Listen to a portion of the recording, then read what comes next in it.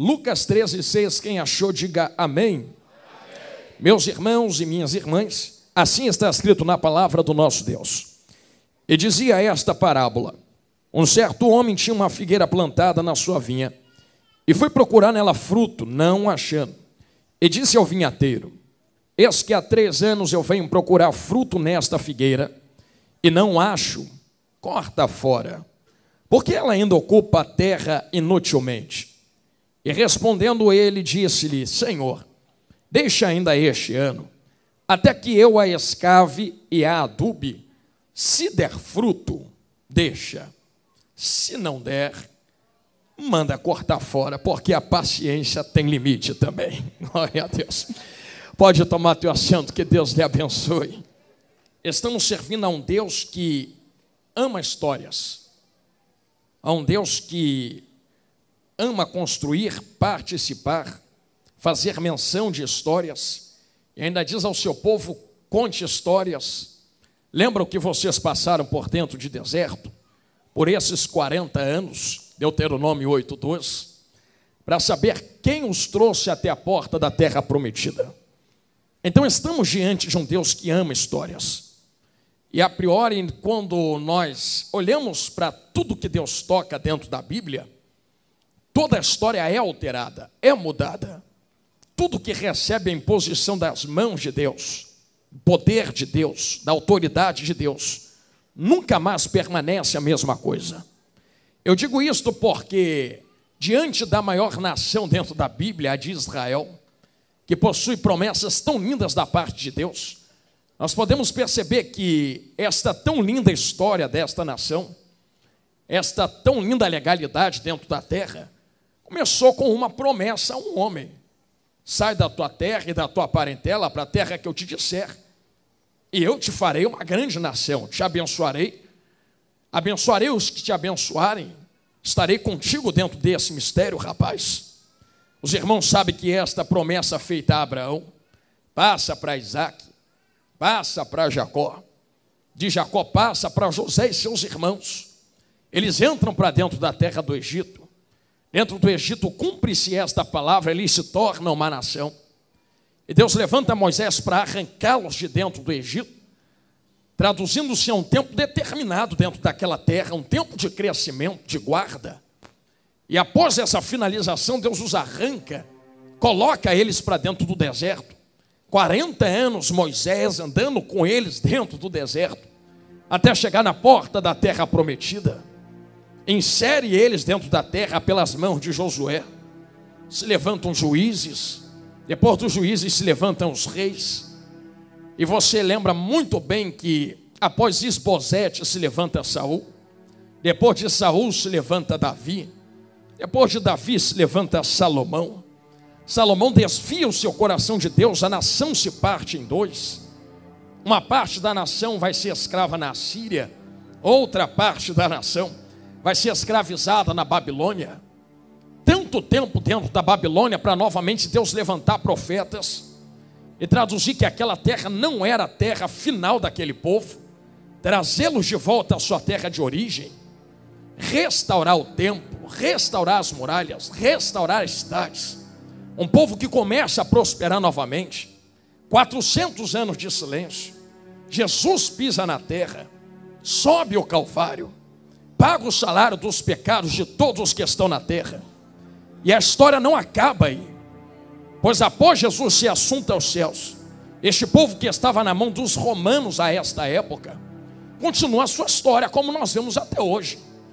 Por lá passaram mamelucos, por lá passaram cruzados, por lá passou o Império Otomano, por lá, por lá passaram os árabes muçulmanos, por lá passaram o Império Britânico. E Jesus havia dito que após certo tempo eles deixariam de possuir aquela terra e voltaria a uma restauração dentro da sua terra original. Enquanto todos esses povos estavam dentro da terra, Israel não possuía um pedaço de terra para chamar de lar. E pela Bíblia entendemos que se cumpre a palavra em que eles estavam espalhados pelas nações. Mas em um ano chamado de 1947 a 48, em uma reunião extraordinária das organizações das Nações Unidas, é decidido entre as nações que se restaure a terra àquele povo, após centenas e milênios de anos, a qual Jesus havia falado desde dois mil anos atrás. Cumpriu-se há menos de cem anos uma restauração dentro da palavra. Este povo está nesta terra. E não pensem que a história acaba aqui.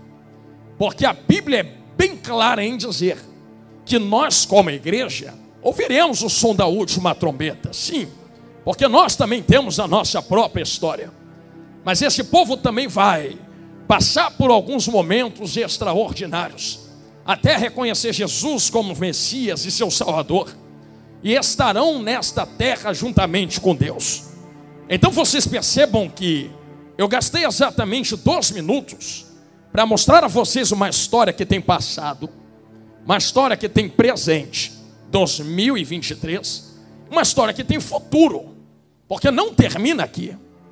E é nisto que Deus opera. Deus não opera somente no presente. E nós, como seres humanos, somos limitadamente e inclinadamente, pastor Paulo, a pensar que Deus se limita ao nosso momento, à nossa condição presente. Há quem diga que, meu Deus, eu não tenho condições de cumprir aquilo que o Senhor tem colocado nas minhas mãos. Olha quem eu sou, olha como eu falo, olha onde eu moro. Há quem diga que coloque a culpa no seu passado. Olha de onde eu vim, olha o que eu fiz. Há quem coloque a culpa no seu futuro. Para onde eu vou, o que eu faço, para onde irei. Mas eu estou falando acerca de um Deus que não está preso no teu presente, não está preso no teu passado, e não está preso no seu futuro. Vocês, homens, não podem voltar no tempo. Quem é o poderoso aqui que tem uma máquina do tempo para voltar no passado e alterar ele? Quem me dera, Jesus. Voltar no meu passado e acertar tantas escolhas que eu errei. Mas em última análise vejo que se não tivesse errado, talvez não tivesse aprendido. Então não se pode cancelar dias maus. E talvez as escolhas erradas que fizemos, porque foram elas que te colocaram sentados aqui dentro esta noite, na presença de Deus. Eu acabei de dizer isso para mostrar a vocês que uma história não é formada apenas de dias bons e escolhas certas. Uma história também é formada por dias maus e escolhas erradas. Então não há glorificação apenas nos dias bons. Uma boa história também é formada de dias ruins. Dia que você está para baixo, triste, cabisbaixo. Dia que tu quer chutar o pau da barraca. E quem que foi que te disse? que o teu Deus se limitou ao teu dia ruim, ao teu dia mal. Meu Deus, se Deus dependesse do teu dia mal, que era o teu presente, para estar contigo, você não estaria aqui hoje.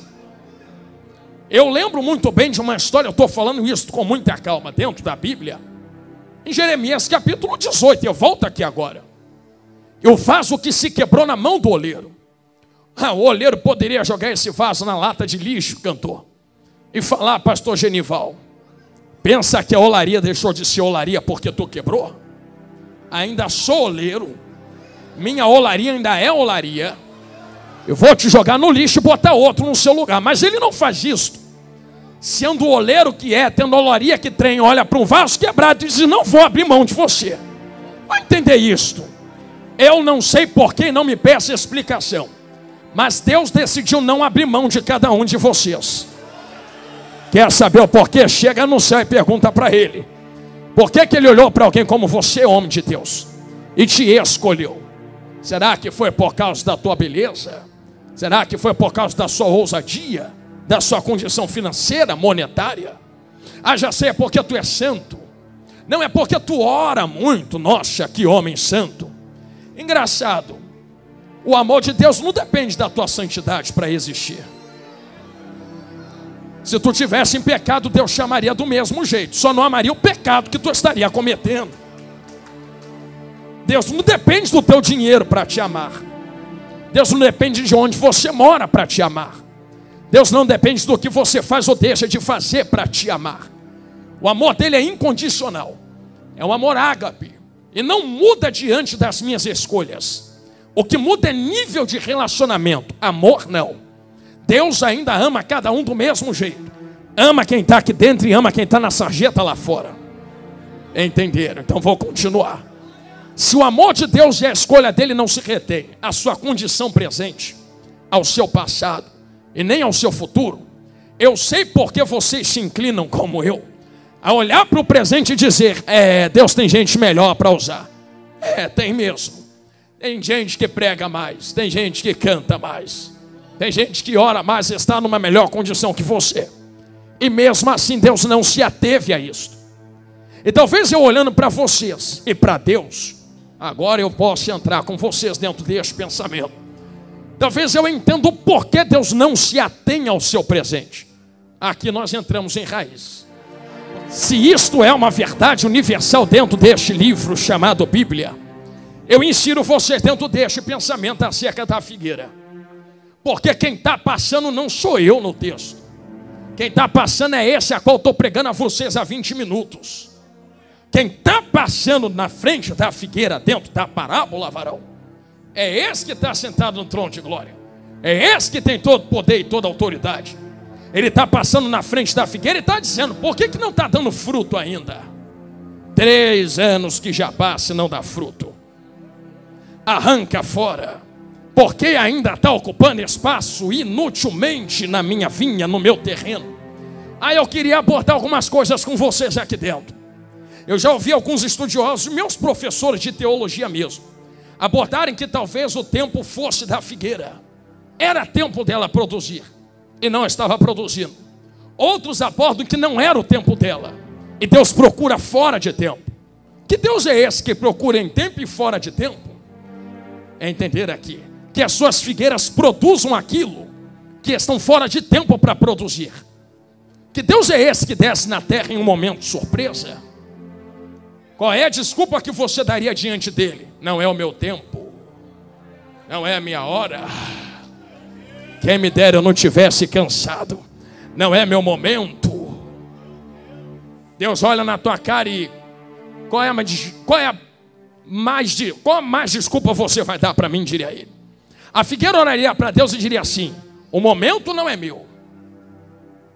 Talvez não haja chuva. O sol está me consumindo. O terreno não é propício à produção. A culpa não é minha, a culpa é do terreno que eu estou plantada. A culpa é do nutriente que não chega em mim. A culpa é do sol que está me castigando. A culpa é da minha estrutura que não está preparada ele meteria esse dedão no nosso nariz, Figueiras, e diria assim: Ah, tua desculpa é esta? Tu está plantado sozinho nesse terreno, tu está na vinha, tu não entendeu que ele planta uma figueira estrategicamente em uma vinha, para que a vinha guarde a sua figueira.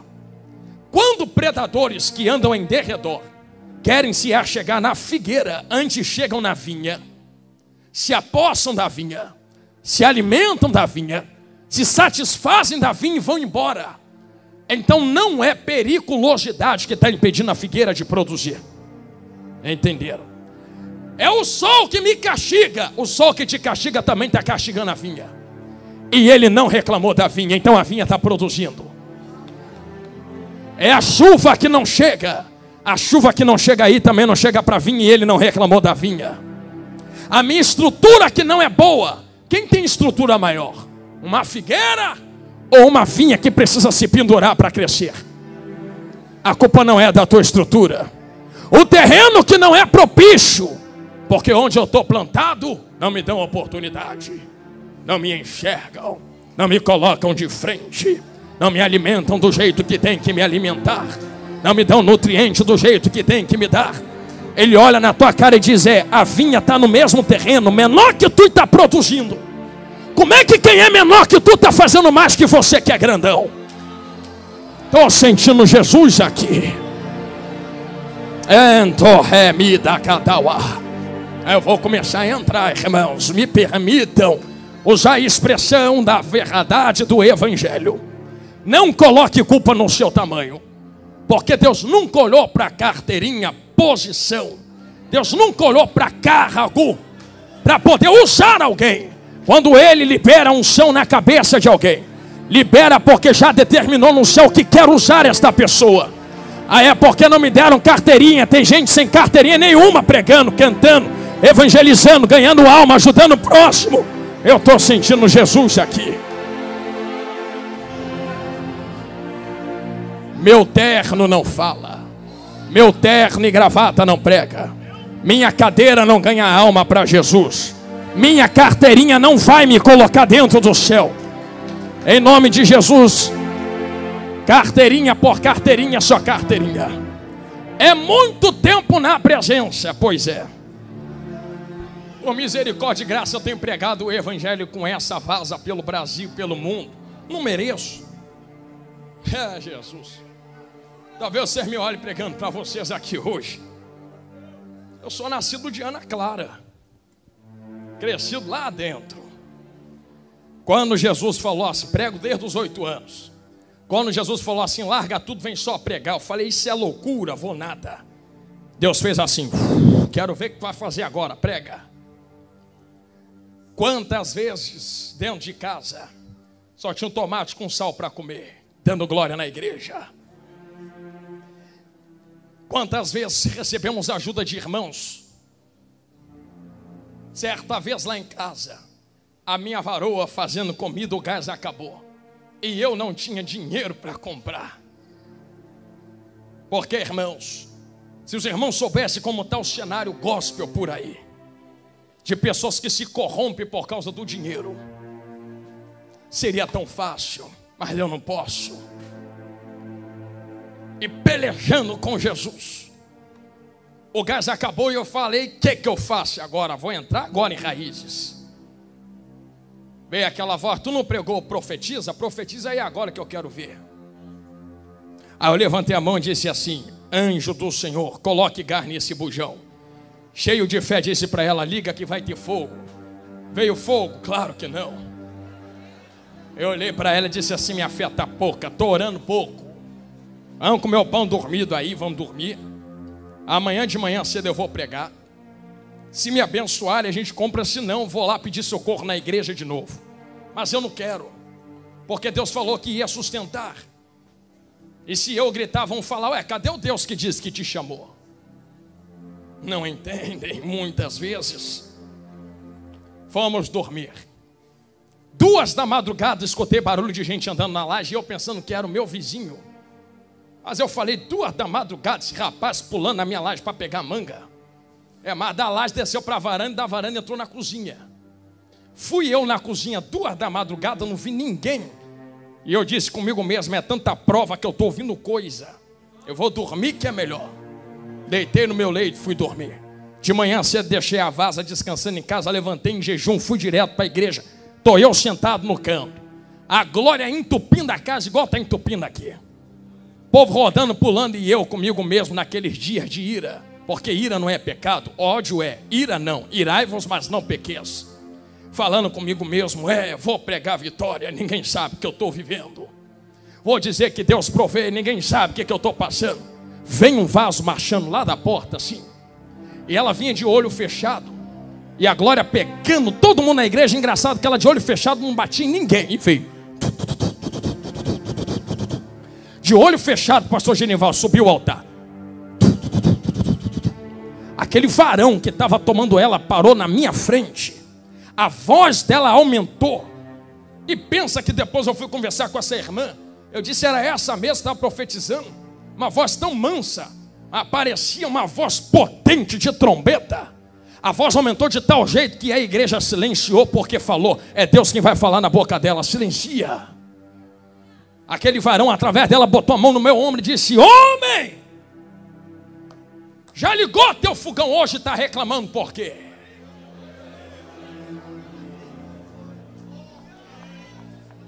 Porquanto eu ouvi tua profecia, e se eu disse que eu sou Deus que provê, eu sou Deus de vitória. Duas da madrugada o meu anjo pisou na tua casa e botou gás no teu bujão. Cheguei em casa correndo, varão. Olhando para a varoa, liga esse mistério aí. Ela mas comprou novo ou não? Jesus falou que botou. Ela ligou, o fogo veio ainda durou cinco meses com o bujão vazio lá dentro de casa. A ela ali, pergunta para ela. Só acabou quando eu encostei outro bujão do lado daquele vazio lá. Quando eu encostei, oh, pujão, aquele apagou. Aí eu, bobo varão, fui falar, Jesus, enche o bujão. Ele, não, agora tu pode, vai ficar abusando daquilo que eu te dou, rapaz. Glória a Deus. Eu estou falando isso a vocês, meus irmãos, com todo carinho e calma, sem acelerar, nem correr, nem gritar, para que vocês entendam o tamanho do Deus ao qual vocês servem. Eu falei isso até este momento para que vocês saibam que se a figueira está sendo comparada a alguém que precisa se estabelecer dentro daquele terreno, que possui a sua fixação dentro de um ambiente propício à sua produção. Obrigado, profeta. E ela não produz, há algum problema com ela. Qual o problema? Nós olhamos para a figueira e percebemos dentro do texto que não é um problema aparente, não é algo que alguém bate o olho e identifica. O viticultor, vinhateiro, que tem aqui o simbolismo do próprio Jesus grandão da Galileia, entra na frente do dono e diz: Não corta ainda não. Aqui nós estamos vendo o tempo representativo na palavra da lei e da graça. Da lei é o dono dizendo: corta porque não produziu. Da graça é Jesus entrando entre o dono e a figueira e dizendo: dá mais uma chance. Mas se não der, graça é graça, mas a minha paciência também tem limite, não abuse da graça. Se não der fruto, corta fora. Porque tu és o que matou ontem, tu és o que mata hoje, e pode continuar matando se abusarem da graça que tu está dispersando na terra. Ou tu acha que a mão de Deus mudou? Mas desça aqui para outro dia. Ou para onde Jesus está mandando. O viticultor, o vinhateiro, olha para o dono e fala: tem um problema com esta figueira. Qual o problema da figueira? Vou cavar. Irmão, não se cava vento. Não se cava ar que eu saiba, se cava terra. Se cava terra, o que há embaixo da terra que sustenta uma figueira? Raiz. Identificamos o problema. O problema nunca foi folhagem. O problema nunca foi tronco, caule, galho. Porque isso são partes visíveis da figueira. Você me vê aqui hoje de terno, Bíblia na mão, toalhinha, você vê as irmãs de saia, vestido. Isso são folhagens, são aparências. O que sustenta a figueira não é folha, não é tronco de fato, não é galho. Isso são coisas vistas, mas não é a folha que sustenta a figueira no lugar. Existe algo oculto embaixo da terra que está sustentando a figueira no visível. Então tu vê alguém aqui de pé hoje, mas não está de pé porque é bonita, está arrumado, tem o melhor terno, não. Tem algo invisível sustentando esta figueira aí do teu lado. Ou tu acha que está de pé porque se veste bem? Ah, unção não é por causa de roupa. unção não é por causa de aparência. Se ele cava para identificar o problema e desvoar adubar, identificamos que o problema está na raiz da figueira. Pensem comigo algo muito claro, muito simples, mas muito profundo. Se identificamos que o problema está na raiz da figueira, pode haver três problemas para ela não crescer, aprofundar ou frutificar através das suas raízes. Primeiro, não teve tempo para crescer raiz. Já cai por terra porque o dono está dizendo que deu três anos de chance. Segundo, talvez não tenha tido nutriente suficiente. Já cai por terra porque a vinha está frutificando no mesmo nutriente. Terceiro, talvez haja faltado força de vontade nessa figueira para enfiar raiz para baixo da terra e puxar mais nutrientes para frutificar na parte de cima. Chegamos aonde queríamos. Isto vai contra a natureza de uma planta. Nenhuma planta tem sentimento para decidir se quer ou se não quer. Quando o dono planta, ela vai produzir de acordo com aquilo que lhe é dado. Se você plantar uma semente no teu quintal, aduba, bota água, vê se não cresce. Deixa de botar água e de adubar, vamos ver o que, que acontece. Ela produz de acordo com aquilo que recebe. Então estamos olhando para uma figueira que está indo contra a própria natureza.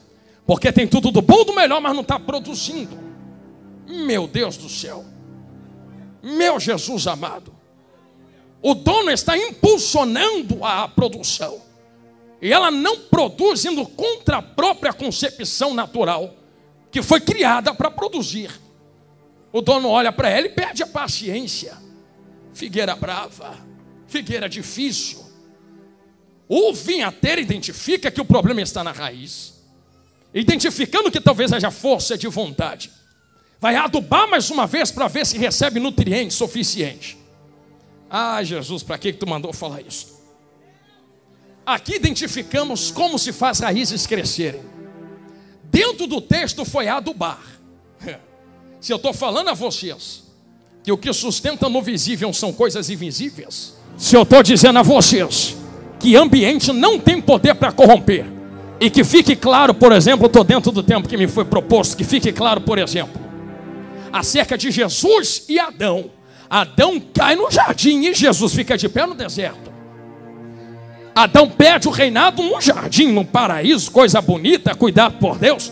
E Jesus, a ausência de recurso, de água, de alimento, está firme. Vou ceder não. É deserto que me muda, não. Quem é, é e ponto final. Tanto fora quanto dentro do deserto. Não preciso de coisa boa para ser quem eu sou, não. Eu sou fora e sou dentro do ambiente. É, Jesus. Se isto é uma verdade, irmãos, eu estou falando de raízes, porque a Bíblia identifica em vocês raízes de uma maneira diferente. Olha para alguém que está do teu lado que tu não vai ver ninguém com folha, ninguém com tronco, ninguém é árvore. Mas como é que a Bíblia identifica raízes em vocês? Ai, Jesus. Raiz é aquilo que conecta a árvore na terra, é aquilo que sustenta a árvore no terreno. Lembra de um dia Moisés passando em frente a um local? Ele olhou para dentro e viu uma sarça ardendo, e uma voz que dizia: Rapaz, quer vir ver esse mistério? Não, mas já que tu entrou, tira a sandália do teu pé porque o lugar que você está é o quê? Alguém vai pegar lá no meio, quer ver? Se raiz é algo que me conecta e me estabiliza na terra, não é só estar tá na terra. Se tem algo entre mim e a terra, sandália. Era alguém que está no ambiente, mas não está conectado no ambiente. Eu me pergunto, como pode estar tá no ambiente, mas não usufruir do que o ambiente oferece? Como é que pode estar no ambiente, mas não está conectado no ambiente? A primeira voz que chama não é Deus. Lê depois em casa.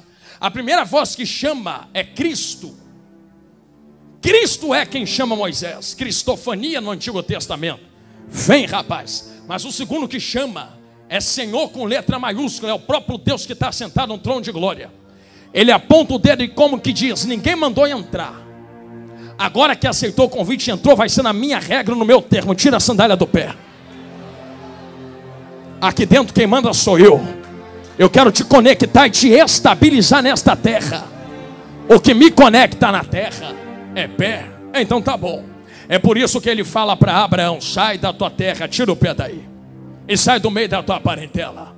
É por isso que ele fala para Isaac: não vai para onde eu não te disser para ir, fica onde eu mandar você ficar, terra. É por isso que ele olha para Jacó e diz: Rapaz, está todo quebrado, né? Tirou o pé de onde não era para ter tirado. Porque está fugindo, porque teu irmão talvez queira te matar. Eu quero restaurar isso aí.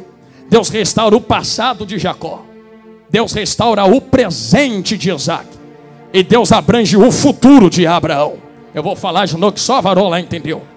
Deus conserta o passado de Jacó. Vai se reconciliar com teu irmão porque teu pé fugiu. Deus estabelece o presente de Isaac. Fica na terra que eu te disser que eu te abençoo.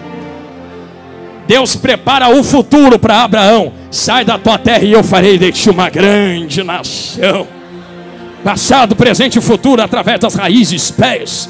É por isso que quando Moisés chega diante da presença dele, irmão, é palavra. Ele olha para Moisés e diz assim: Quer saber quem eu sou? Quero, quem tu é? Eu sou Deus de Abraão, futuro de Isaac, presente, de Jacó, passado. Eu sou Deus dos teus antepassados. Trabalho no passado, no presente, no futuro e tem mais. Tu está fugindo, né, rapaz? Fez coisa errada no Egito. Resvalou teus pés da posição. Eu podia chutar o teu pau da barraca e botar outro no teu lugar, mas eu quero tu.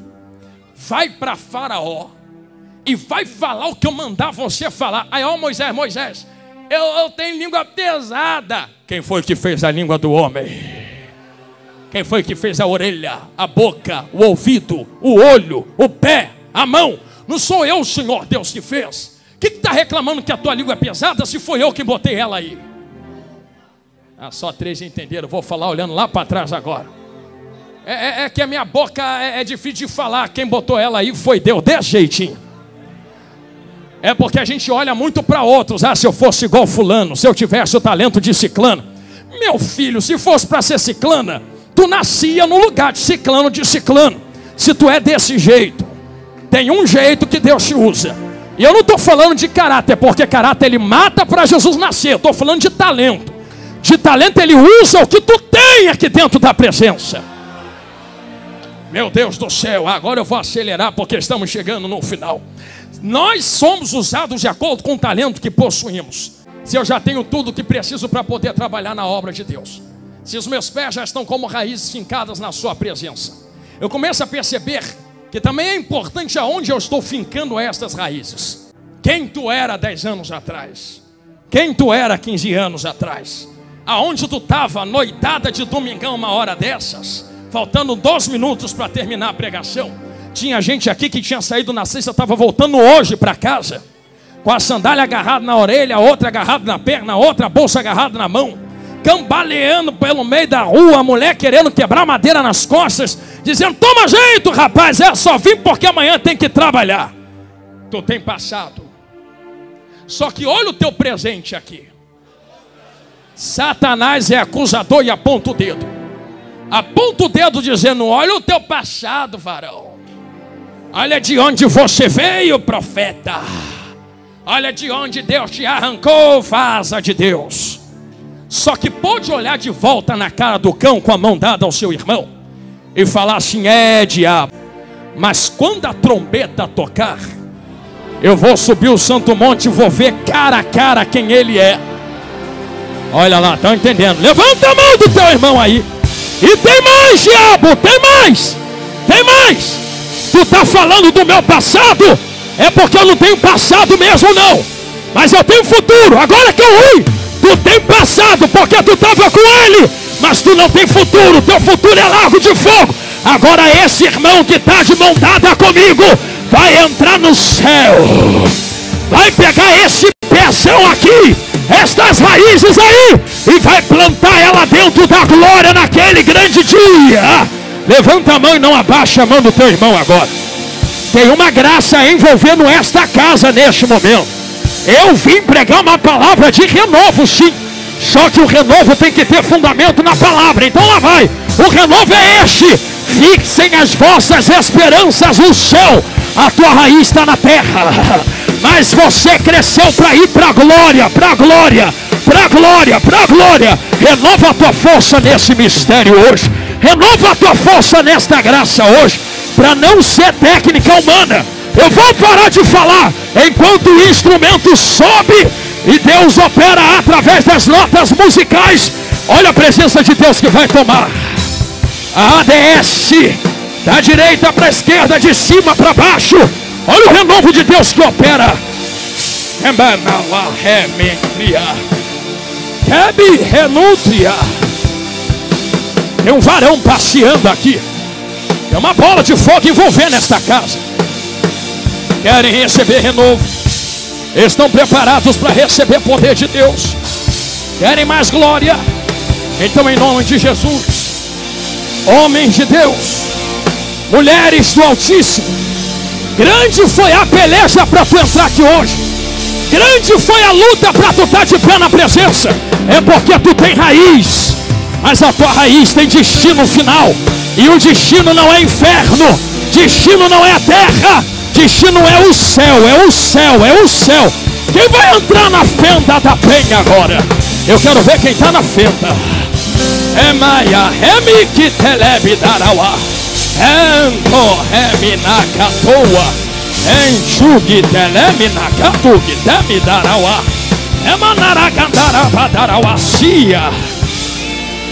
Emitsihen Shoheb Dagadawa. Hum.